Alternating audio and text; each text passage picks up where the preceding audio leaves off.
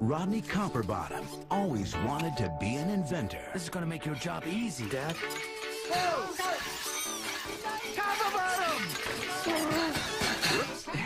Now he's now he's going to the city to follow his dream. Watch out! Coming through! Oh. Put your head between your legs. Huh?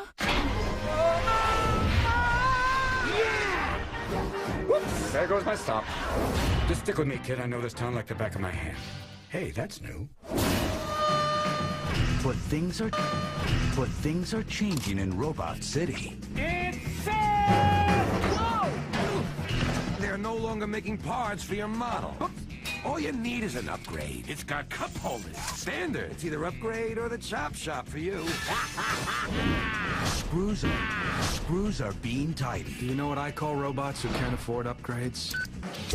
Scrap metal. The city's falling apart. We are not junk. We are not scrap. And we will not be treated this way. I can fix you easy. Um, hold on, hold on. Ow! I'm hurting me.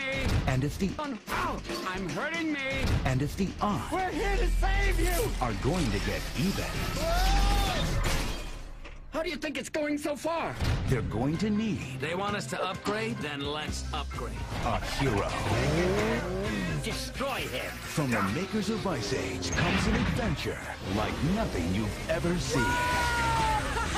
Who are these losers? We, sir. I'm a woman. Ouch. Ewan, Mc- Ewan McGregor, Halle Berry, Greg Kinnear, Mel Brooks, Who's the dame with the sweet keister? Drew Carey, Someone get a crane. Amanda Bynes, The name's Piper. Rhymes with Viper. and Robin Williams. I'm a winner! Oh dear. Robots. I'll get them. Oh look, look at it. Oh, now they're arm wrestling.